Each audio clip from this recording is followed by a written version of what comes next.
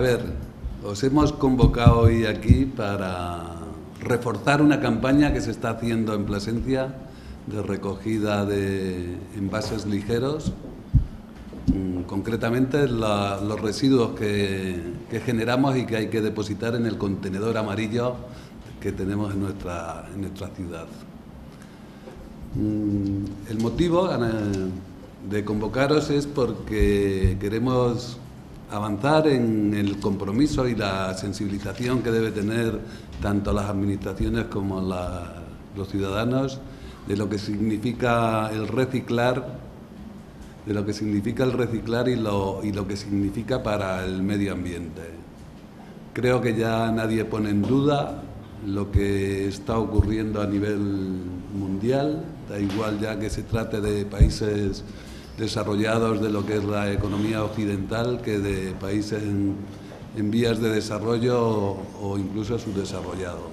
Ayer mismo hablaba yo con una persona de la situación en Somalia de, envases ligeros de plásticos o en Marruecos o en la India o aquí también y los, los vídeos esos que vemos sistemáticamente por donde el mar es una, una ola de, envases.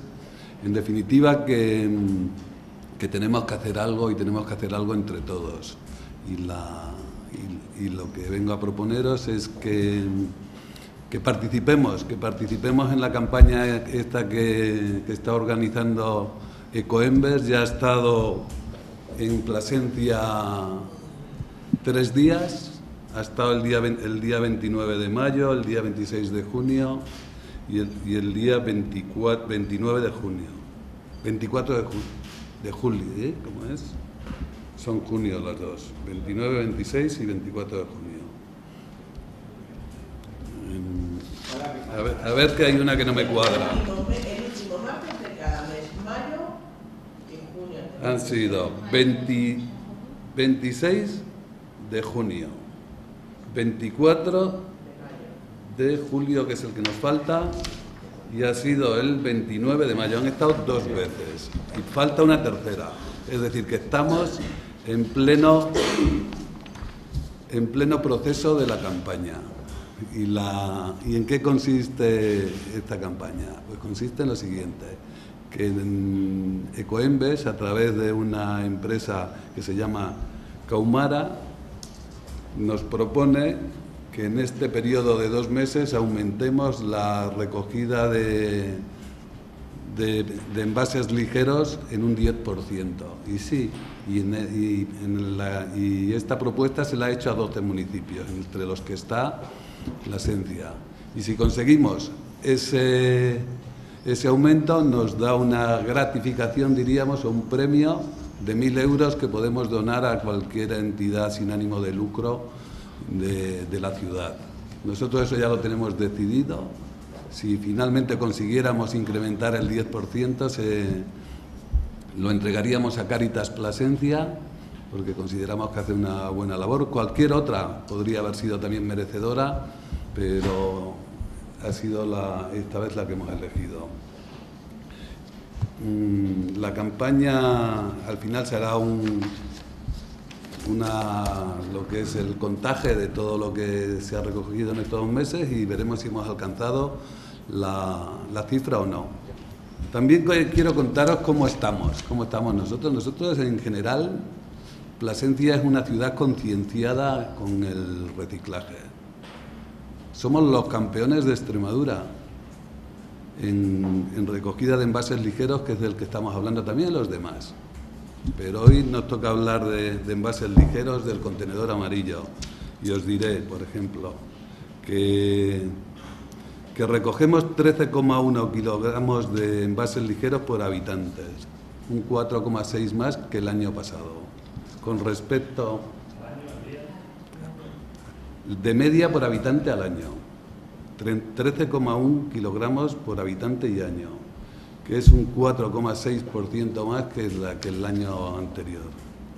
Y luego, si lo comparamos con lo que hace Extremadura, Extremadura recoge 10,9 kilogramos por habitante y año. Y la media nacional, ahí ya es donde nosotros tenemos, tenemos que mejorar, aunque somos los que más nos aproximamos, está en 13,96. Pero esto es del año 2018. Del 2017, perdón, 2017.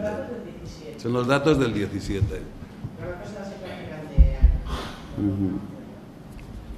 Eh, pero aquí también yo quiero resaltar algo que, que, no hacemos del todo bien y es la utilización del contenedor amarillo.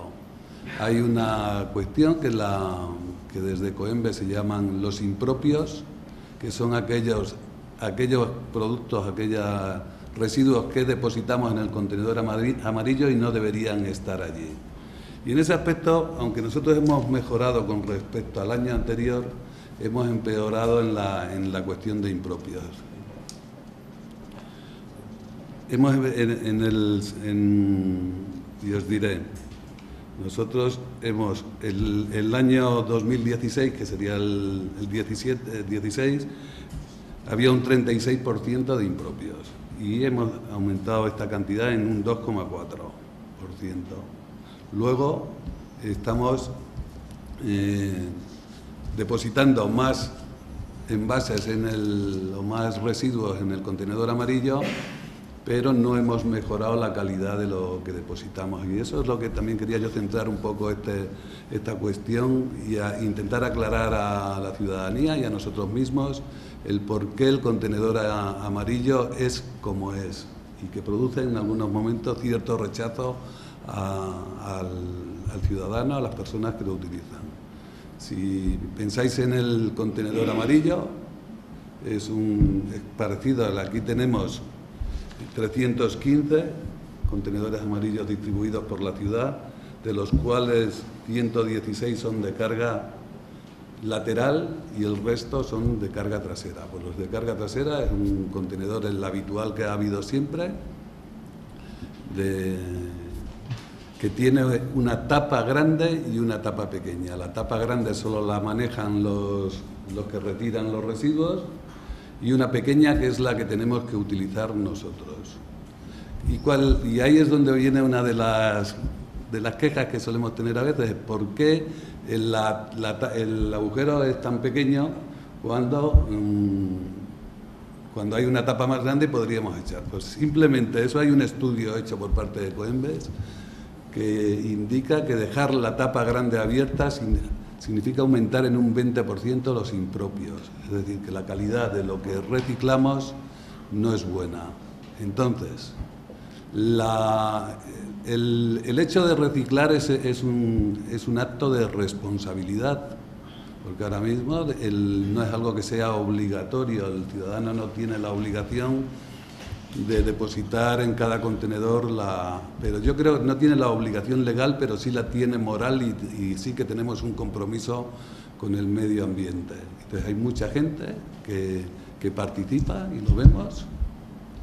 Y, y, el que no quiera participar, pues tiene el contenedor, el, el contenedor normal de RSU, de residuos sólidos urbanos. Y el que participa, lo que le pedimos desde aquí, lo que nos pide Coembes que os traslademos, es que acepte las normas de reciclaje. Y si no quiere aceptarlas, pues que no recicle, que, la, que no recicle y que, y que deposite en el, el, RSU.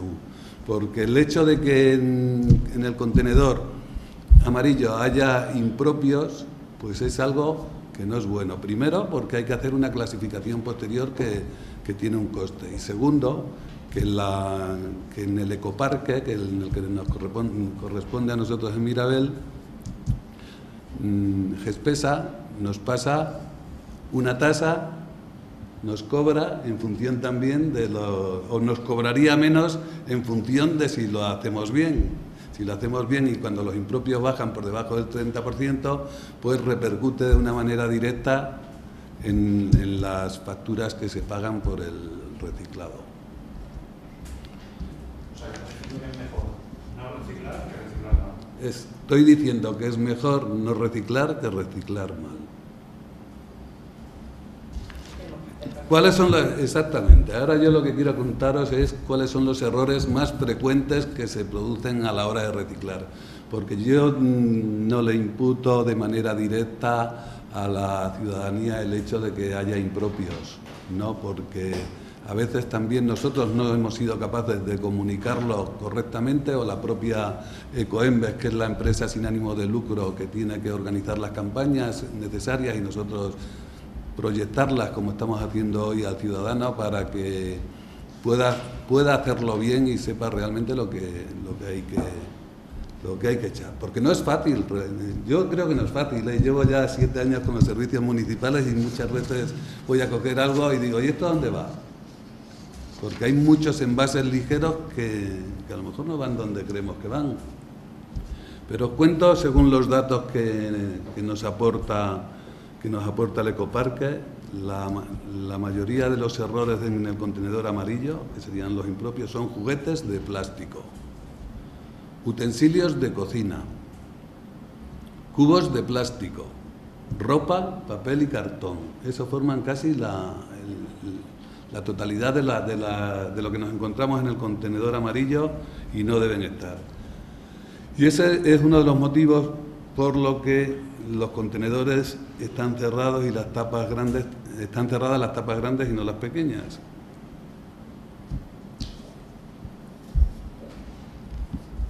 El, entonces, eh, ¿qué es lo que, lo que podemos echar? Lo que podemos echar son los, los envases, las botellas, las latas, las los, los de la leche, de todo esto, vamos, de la leche cualquier otro producto,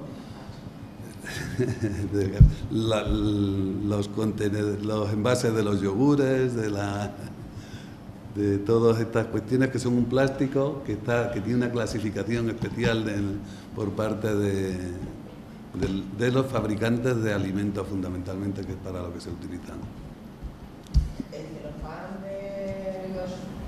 Pasado, eso va al, al sobre base ligero o no. Y eh, ahora la gente compra mucha base de la carne del supermercado. Eso es. Baja. Yo no sé si podrías ir en un momento a mi despacho porque me he dejado la serigrafía nueva que vamos a poner y la quería mostrar. Y está encima. Eso es. Las dudas, las no, yo voy a seguir a, hablando de esto. Mira. ¿Y qué es, lo que, qué es lo que se hace para llevar este tipo de control y desde el Ayuntamiento de Plasencia qué hacemos? Pues yo aquí quiero poner en valor una figura que este equipo de gobierno ha, ha promovido y, ha, y, forma parte ya del organigrama de esta, de, este, de esta administración, que es el Inspector de Servicios Municipales y Salud Pública. Nosotros hacemos controles propios, hacemos unas revisiones periódicas de la situación en que se encuentran los, los contenedores, los contenedores en general. Y valoramos la, después de las inspecciones lo que se hace es analizar las situaciones que, que, tenemos y hacemos propuestas para que se incrementen o para que se modifiquen los emplazamientos de los contenedores. Nosotros en ese sentido, en lo que es la ratio de de litros de contenerización por habitante estamos bien, estamos por encima de los 8 de los de los 8 estamos por encima de los 8 litros por habitante que propone Coinbase.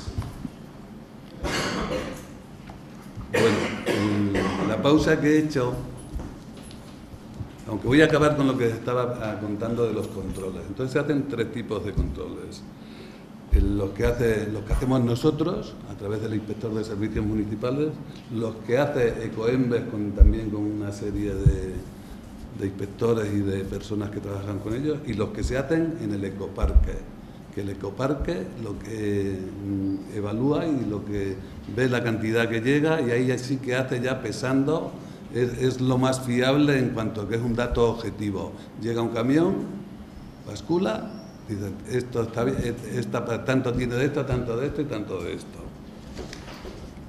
Una vez dicho eso, yo también os quería enseñar unas pegatinas que, nos, que vamos a poner a todos los contenedores ahora, nos, nos ha entregado Ecoembes 350, le hemos pedido un 10% más que, que los contenedores que tenemos y es la siguiente. Mirad, aquí es donde queda reflejado perfectamente los, lo que tiene que ir en el contenedor amarillo.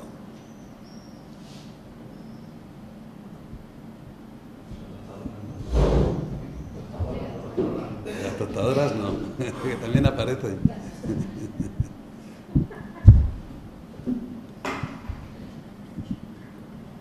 Entonces, la- esta pegatina yo creo que va a ayudar bastante. Va a ayudar bastante porque ya identifica de una manera concreta lo que, los errores más frecuentes y también lo que tenemos que echar en el, en el contenedor amarillo. Se van a poner en breve y, y ahí están, ¿no? Aparecen lo que hemos dicho.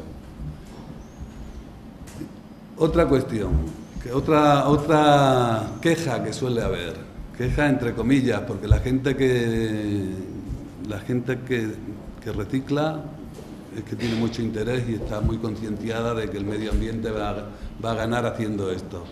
Es que este tipo de envases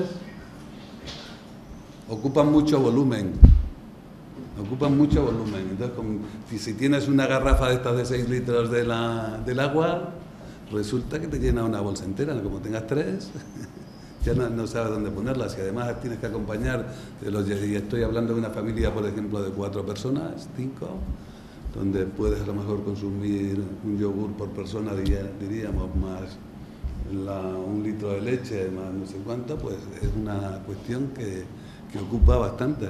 Pero hay pequeños detalles que yo voy a hacer una, una demostración con una botella que pues, facilitan o que disminuyen mucho el volumen, porque realmente una botella de plástico, pues fíjate lo que ocupa. Pero si yo le quito el tapón, le hago, le hago esto, pues la botella de plástico es muchísimo menos, pero si, co- pero si cojo una, una, una botella, una garrafa de 5 litros, que fijaros lo que, que tanto como yo, le, le hago eso, pues lo queda así. Un- una lata de cerveza, por ejemplo, de cualquier otro, de Coca-Cola un refresco, que también simplemente apretándole un poco la barriga, lo quedaría reducido a mucho menos que lo que es. Entonces que también podemos desde casa pues tener nuestras estrategias que son propias para, para reciclar. Y luego lo que hay que hacer es utilizar bolsas que cuando estén llenas quepan por el 30 por 30 que tiene la 30 por 30 creo que es, sí, 30 por 30 que tiene la boca del contenedor, porque si no nos vamos a encontrar con una de las cuestiones más frecuentes que nos encontramos, que es que la- alguien llega, no lo hace bien porque no lo mete, lo deja encima y encima tapa la boca. Y a continuación todos los que van viniendo detrás, que obviamente no quieren tocar la- las bolsas de basura de, que proceden de algo que no conoce, pues las van poniendo y se, y se preparan las montoneras estas como en el ciclismo, encima del contenedor. Los de carga lateral levantan la tapa Las de carga lateral tienen dos agujeros. Sí, pero que, que se pueda levantar la tapa. Si tiene una bolsa grande, te la levanta, la mete y todo. Del- en el amarillo no. ¿Ah, sí? Entonces está, serán algunos, algunos los manipulan. Es que hay algunos que se, que se manipularon porque los vecinos pues, se manipularon porque los vecinos contestaban en los de carga lateral. Y otros de carga, o sea, los de carga lateral venían de por sí. Nosotros en la última- Pero decidió que se cerraran. Pues Ecoembes no nos autoriza a hacer eso y nos dice que, la, que los cerremos, que es preferible que utilicen el, el otro, porque esas bolsas... gra- Es más,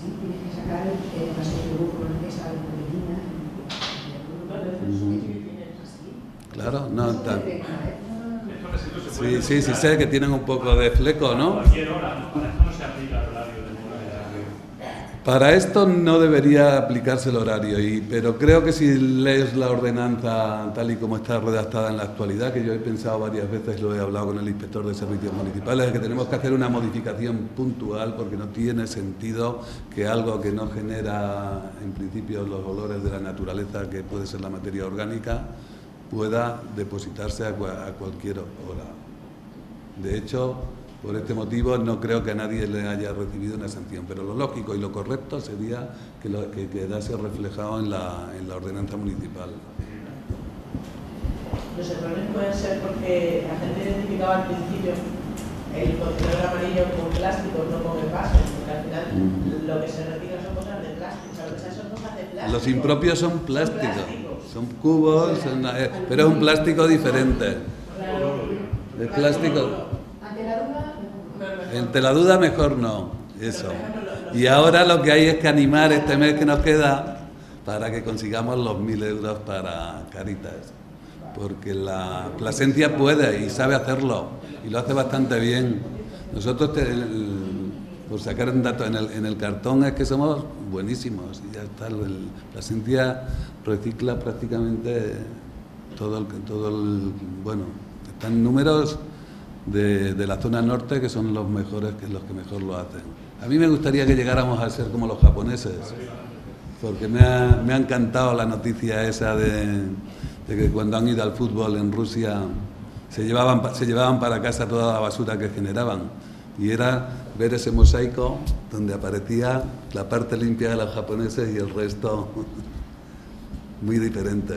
Y, la, y creo que ellos, que siendo uno de los países más desarrollados del mundo, siguen teniendo valores muy importantes relacionados con la naturaleza y con, con cuestiones que, pues, que le calan mucho. ¿no? Y eso es un poco lo que pretendemos en Plasencia, que tenemos un, lugar privilegiado y te vas por el campo, vas por el paseo del río, a pesar del esfuerzo que se hace con la Brigada Verde y de limpieza, como sabéis. La planificación siempre se ve, se ve sorprendida por, por malas prácticas de civismo que, que también desde aquí reclamamos en la medida que se pueda, que pensemos que, que- es nuestro entorno, que realmente la, la ciudad es una continuidad de nuestras casas, que vivimos ahí y, cuanto mejor esté, mucho más saludable va a, va a ser, muchos menos problemas vamos a tener y, y- mejor vamos a estar. Creo que con esto, si tenéis alguna pregunta que queráis hacerme, estoy a vuestra disposición.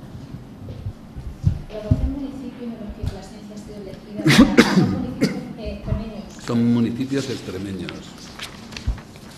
Concretamente, Zafra, Don Benito, Mérida, Jerez de los Caballeros, Miejadas, Arroyo de la Luz, Coria, Trujillo, Almendralejo, Villafranca y Moraleja.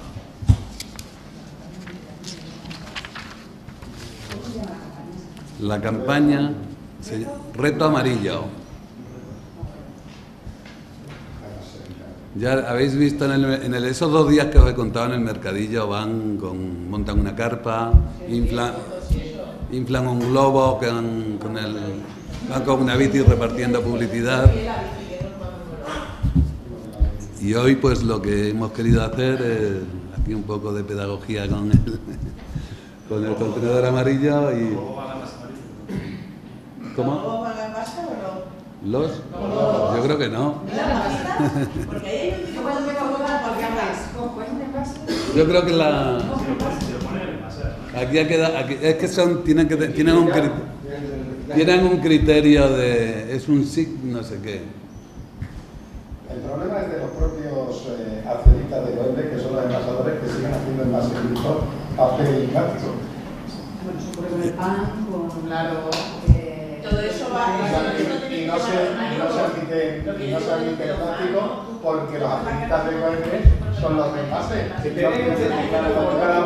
Yo estoy seguro que errores los cometemos todos y que tenemos que ir mejorando, que tenemos que ir errores los cometemos todos.